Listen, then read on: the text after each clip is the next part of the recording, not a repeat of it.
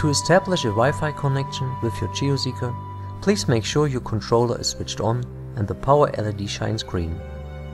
Then power on your tablet PC and locate settings in your applications listing. Depending on your type of tablet PC, this may vary.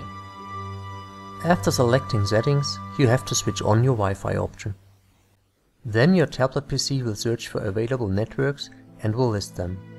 Very soon, a network called OKM GeoSeeker should be visible. Now tap the GeoSeeker network listing to initiate the connection.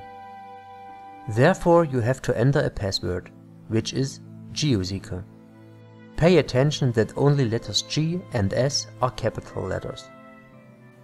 Be careful to not mistype the password. You may mark this checkbox to review your typed in password in human readable form.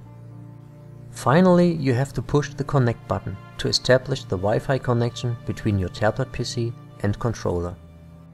In the list of available networks, you find the current connection status, which should be connected now.